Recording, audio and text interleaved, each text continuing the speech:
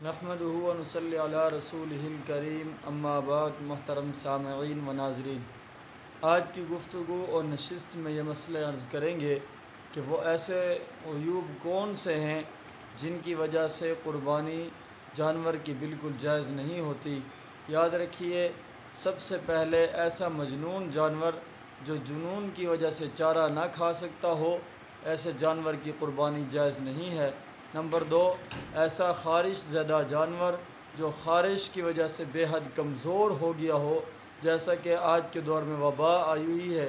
जानवर के जिसम पर छोटी छोटी गिल्टियाँ पड़ जाती हैं, पूरा जिसम मुतासर हो जाता है, जानवर बेहद कमज़ोर हो जाता है।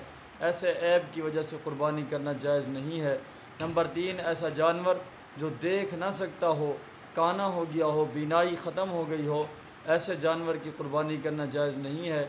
नंबर चार ऐसा जानवर जो बहुत ही ज़्यादा लागर और कमज़ोर हो गया हो, बीमारी या किसी ऐब की वजह से, ऐसे जानवर की क़ुरबानी भी जायज़ नहीं है। इसी तरह ऐसा एक जानवर जो क़ुरबान गाह की तरफ़ ख़ुद ना चल सकता हो अपने पैरों पर जा ना जा सकता हो, ऐसे जानवर की क़ुरबानी भी जायज़ नहीं है।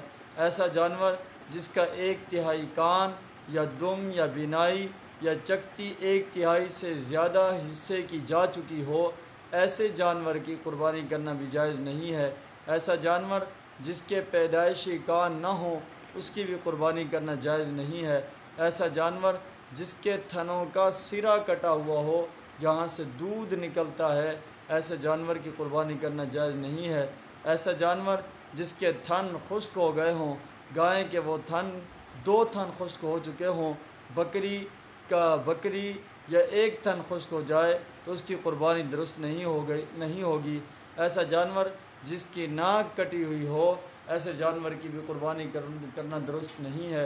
अलगर्ज़ ऐसा ऐब जो जानवर को लगे उस ऐब की वजह से उस जानवर की कीमत के अंदर कमी आ जाए और व्यापारियों और ताजरों और ख़रीदने वालों के यहाँ मंडी मवेशी मंडी के अंदर उस ऐब को शुमार किया जाता हो और उसकी कीमत कम पड़ जाती हो।